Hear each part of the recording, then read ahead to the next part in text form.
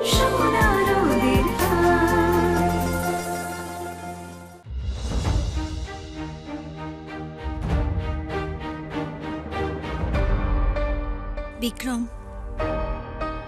আমাদের বিয়ের কথাবার্তা অনেক দূর এগিয়েছে। কিন্তু বিয়েটা এখনও হয়নি। তাই চিন্তা ভাবনা করা যেতেই পারে। মানে? এসব কথা আসছে কেন? কি হয়েছে বলো তো? আমার বাবার কাছে আশি লক্ষ টাকার গাড়ি চাওয়া হয়েছে। সেটা আমার বাবার পক্ষে দেওয়া অসম্ভব।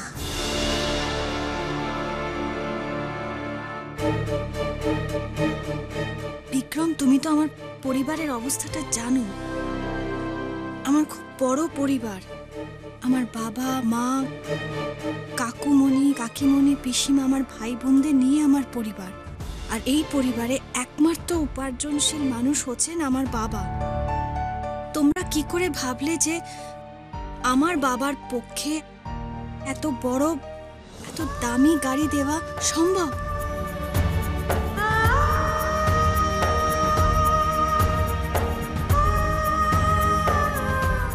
এখানে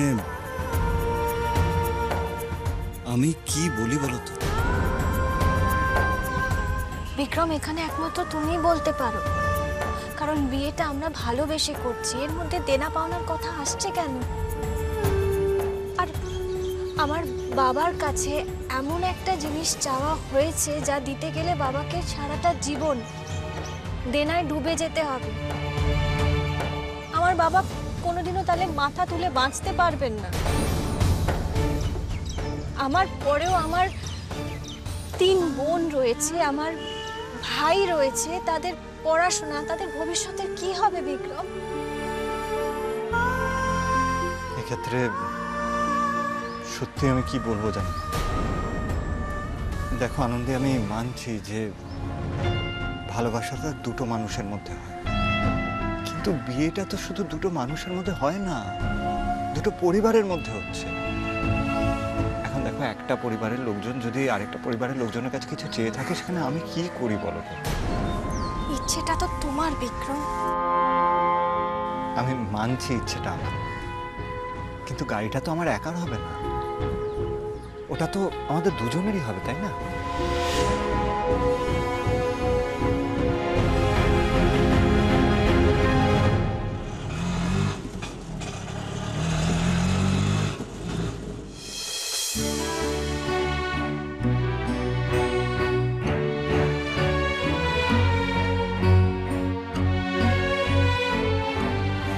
বলছিলাম, আরেকবার একটু ভেবে দেখলে হতো না?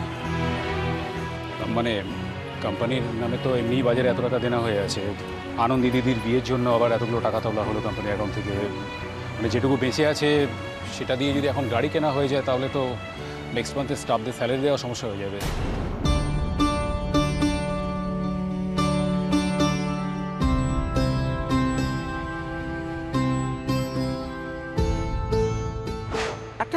লাক্সারি কার কেনারও শখ হয়েছে, বুঝলেন? ও- যে গাড়িটা কিনতে চাইছে, সেটা যদি ওকে দেন, তাহলে তো বেশি দাম নয়, ওই মাত্র আশি লাখ টাকা। দেখুন, ছেলে নিজে ঠিক করে এরকম বাড়িতে বিয়ে করছে। আমরা দিচ্ছি না। আমরা দিলে হয়তো আর একটু বেটার কিছু। সে তো বটে। আমরা দেখে দিলে এমন বাড়িতে দিতাম, যাদের দেওয়া থোয়ার ব্যাপারে ভাবতে হতো না।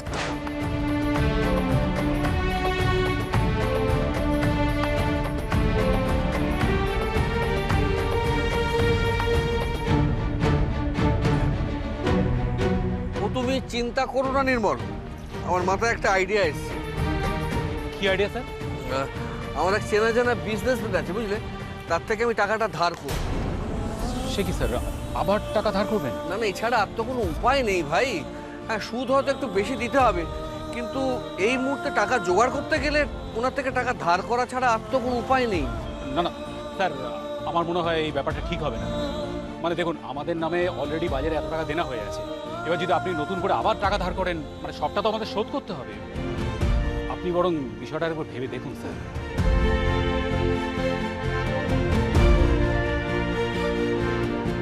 আমার ভাবা হয়ে গেছে।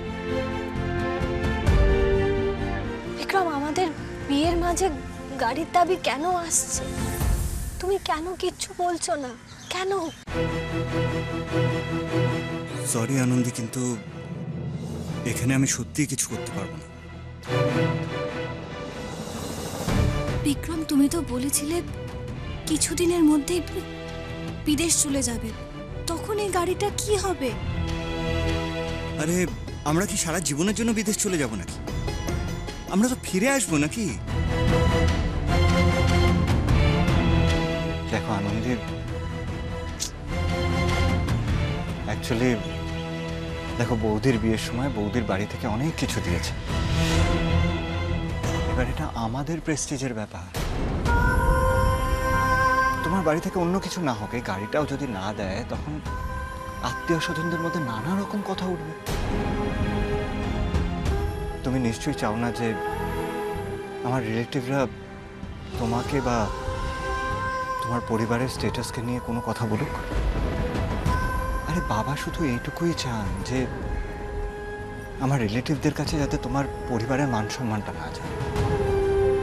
তোমার দিকে যাতে কেউ আঙুল তুলে কোনো কথা বলতে না পারে। দ্যাটস অল একটা গাড়ির জন্য তোমার বউয়ের উপর যদি কেউ আঙুল তোলে, তাকে অসম্মান করে, তুমি সে আঙুল নামিয়ে দেবে না, বিক্রম?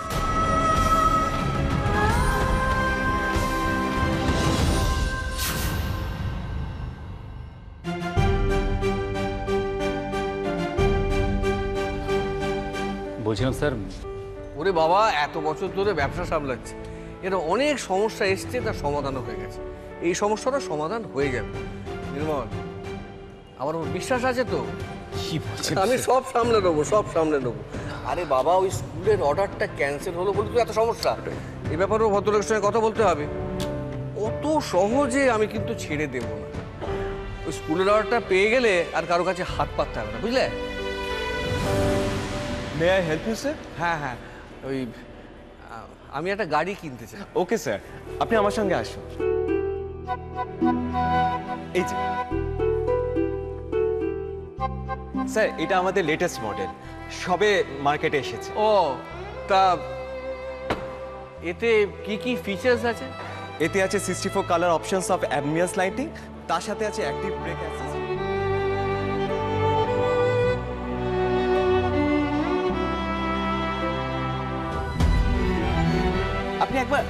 বসে দেখুন না স্যার। ঠিক আছে। দেখুন না দেখুন। বসি একবার।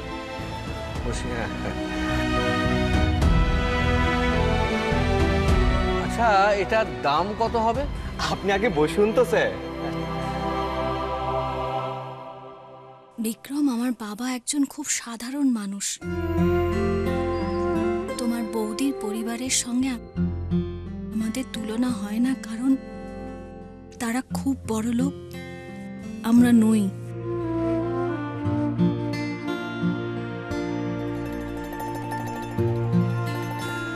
আচ্ছা ঠিক আছে। তোমার বাবাকে বলো যে ইনিশিয়াল ডাউন পেমেন্টটা করে দিতে। আমি না হয় ইনস্টলমেন্টগুলো দিয়ে দেবো। আর এটা কাউকে বলার দরকার নেই আমি সবটা ম্যানেজ করে নেব। এটা হতে পারে না বিক্রম।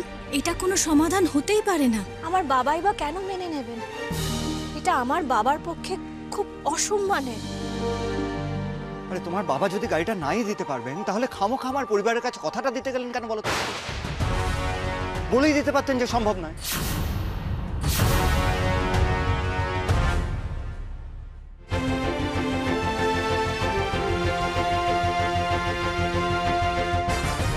দেখো, আনন্দি। আনন্দি, তোমার বাবা যদি সত্যিটা বলে দিতেন, তাহলে তাহলে তুমি বিয়েটা ক্যান্সেল করে দিতাম দিতাম না, তাই তো? তুমি আমাকে একটু বোঝার চেষ্টা করো। একটু বিশ্বাস করো আমায়। আমি তো তোমাকে আগেও বলেছি, আমি সব ঠিক করে দেবো। আচ্ছা আনন্দে। আরে, আমিও তো তোমার বাবার ছেলের মতো আমারও তো তার প্রতি কোনো দায়িত্ব আছে। বিক্রম, আমি ভেবেছিলাম তোমাকে সবটা বললে তুমি বুঝতে পারবে, সমস্যার সমাধান করবে। তাই বাড়িতে রিচুয়াল হওয়া সত্ত্বেও আমি দৌড়ে তোমার কাছে এসেছি, কিন্তু এখন আমার ফিরতে হবে। এরকম শুকনো মুখে তো তোমাকে এখান থেকে যেতে দেবো না। তুমি এরকম মন খারাপ করে থাকলে আমাকেও তোমার সঙ্গে যেতে হবে।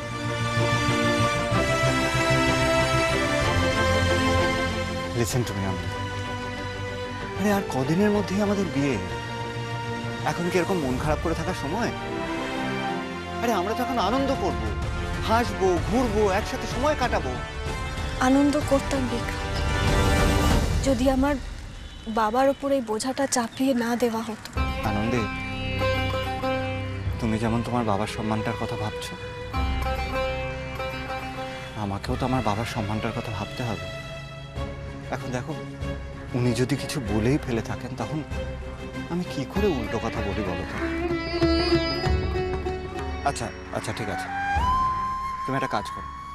তোমার বাবাকে বলো, একদম ডিরেক্টলি আমার বাবার সাথে একবার কথা বলতে ওরা বড়রা নিজেরা কথা বলে ডিসাইড করে নিবে। আর বললাম তো সব কিছু শেষেও যদি সমস্যা না মেটে, তখন আমি তো আছি। আমি ইনস্টলমেন্টগুলো পে করে দেবো ট্রাস্ট মি বাবার অবস্থার কথা জানার পরেও বিক্রম গাড়িটা নিতে চাইছে। আমি তো ভেবেছিলাম সব কিছু শুনেও গাড়ি নেবার ব্যাপারটা ক্যান্সেল করে দেবে। সেখানেও ডাউন পেমেন্ট ইনস্টলমেন্ট আনন্দে? আই লাভ ইউ আনন্দে। আই রিয়েলি ডু আমি তো তোমায় বললাম, আমি সব কিছু ঠিক করে দেবো। তুমি এরকম মন খারাপ করে থেকো না তো। কথা বলতে বলতে কতটা দেরি হয়ে গেছে আমি দেখতেই পাইনি। আই এম অলরেডি লেট আমার অফিসে একটা মিটিং আছে। তুমি একা বাড়ি ফিরতে পারবে? আমি আসি।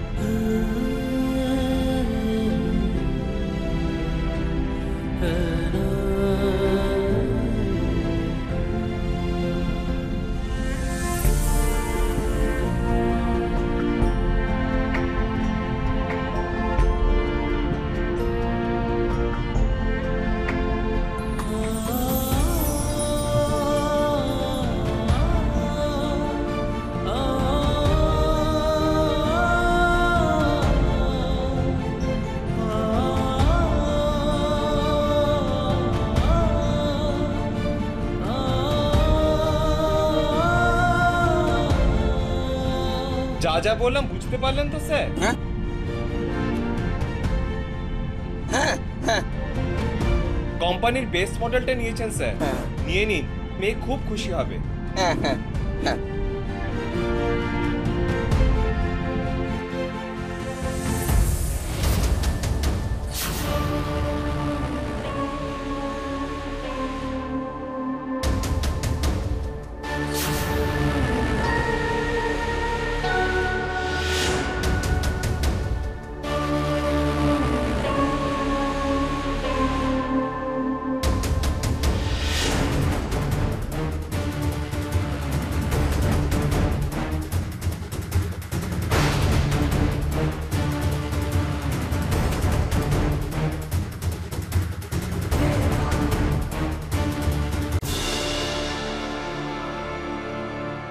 বাবা?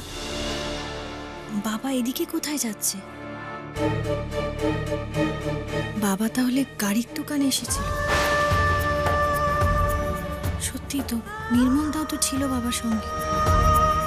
বাবা কি সত্যি সত্যি বিক্রমকে গাড়িটা কিনে দিতে চাইছে? না না। প্লিজ প্লিজ বাবা, এরকমটা করো না। তুমি, আমি কিছুতেই পারলাম না বাবা। কিছুতেই পারলাম না।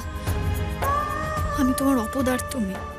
আমি কিছুতেই তোমার খরচা বাঁচাতে পারলাম না। কেন বাবা? কেন শুধু শুধু কথা দিতে গেলে তুমি? কেন?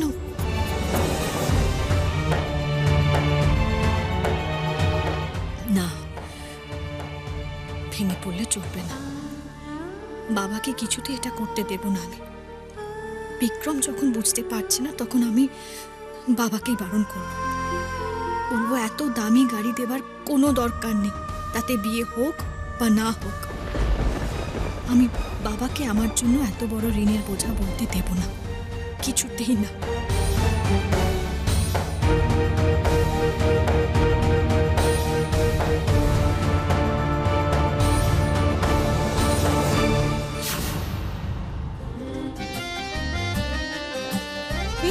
বাইন্দেছে হলদি সরমের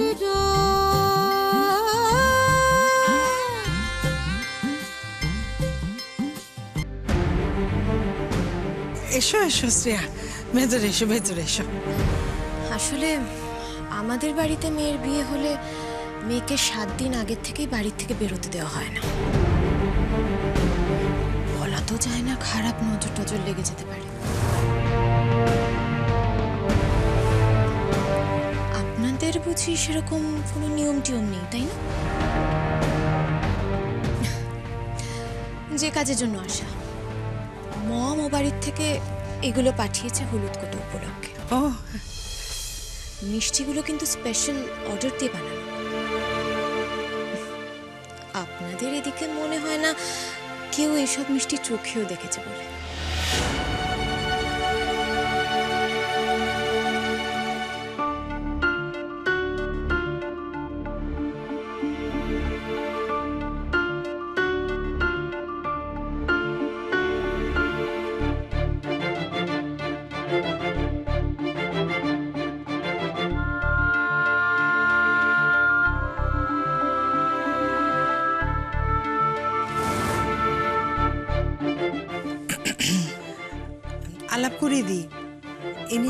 বড়দি শ্রীরামপুর থেকে এসছেন আর উনি আহ, আনন্দির বাবার ফুল পিসিমা।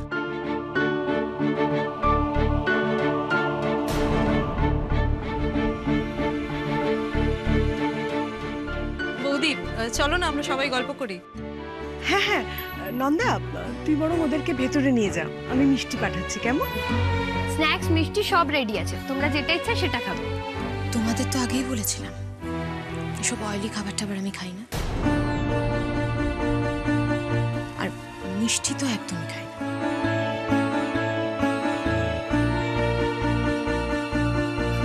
আমি কিন্তু খাব। আমি বরঞ্চ ভেতরে যাই। চলো ইন্দুদি আমরা ভেতরে গিয়ে গল্প করি। হুম চলো চলো আমার বন্ধুদের সঙ্গে তোমার আলাপ করিয়ে দেবো।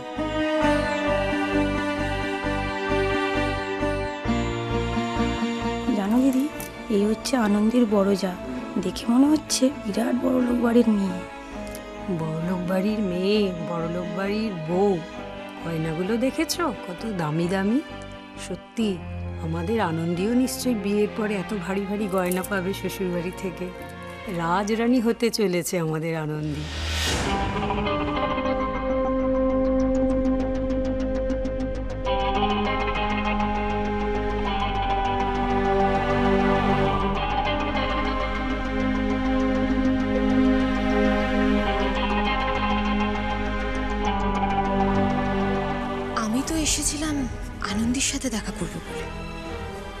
আপনাদের মেয়ের তো দেখছি ঘরে মনই টেকে না।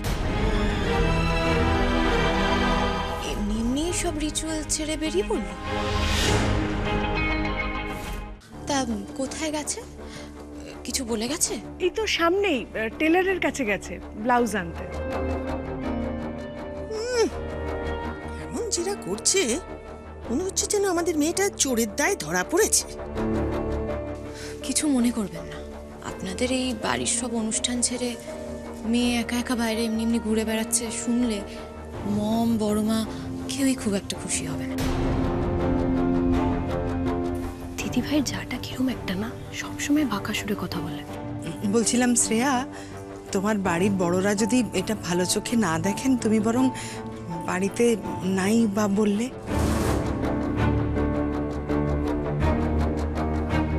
ঠিক আছে, আমি আনন্দীকে একটা ফোন করে দেখছি, আমার কাছে ফোন ওই তো ওই তো আনন্দী এসে গেছে।